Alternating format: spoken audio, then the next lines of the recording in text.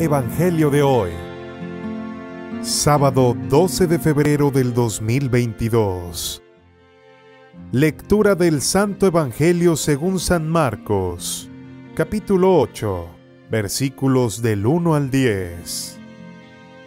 Uno de aquellos días, como había mucha gente y no tenían que comer, Jesús llamó a sus discípulos y les dijo, Me da lástima de esta gente Llevan ya tres días conmigo y no tienen que comer, y si los despido a sus casas en ayunas, se van a desmayar por el camino. Además, algunos han venido desde lejos. Le replicaron sus discípulos, ¿y de dónde se pueden sacar pan aquí en despoblado, para que se queden satisfechos?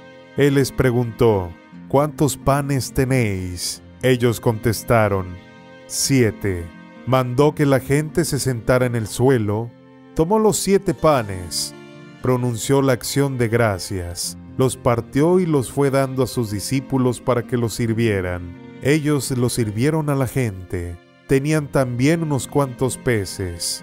Jesús los bendijo y mandó que los sirvieran también.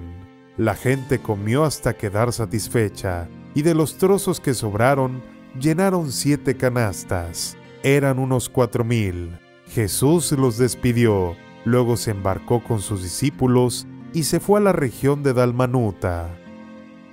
Palabra del Señor. Gloria a ti, Señor Jesús. Porque no solo de pan vive el hombre. Señor, alimentanos de tu palabra, de tu evangelio.